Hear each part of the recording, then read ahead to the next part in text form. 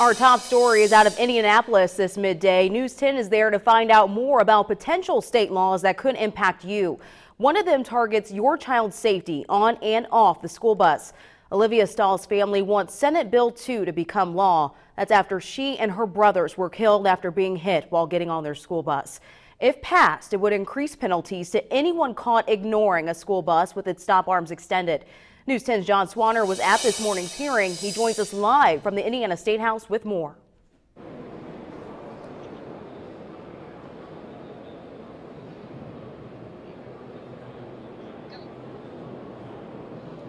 Good afternoon, Aaliyah, from a very busy Indiana State House where this morning the Senate Judiciary Committee met to consider this bill and they passed it unanimously out of committee.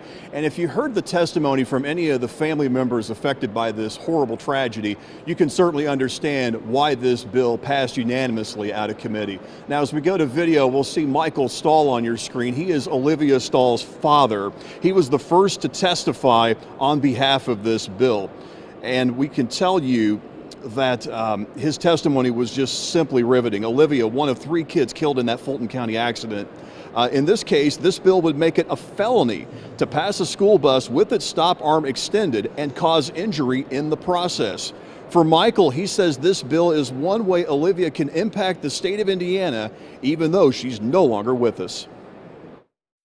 It breaks my heart, and I cry, and I'm, I'm upset about it because I'd rather have my daughter here.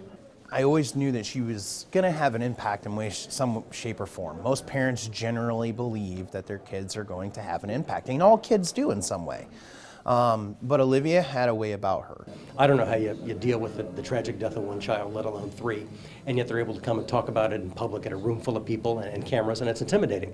Uh, but they put all that aside and tell their story and share it, and I really commend them for that. Senate Bill 2 now goes before the full Senate for a vote. We don't know when that will happen, but we'll certainly keep you up to date.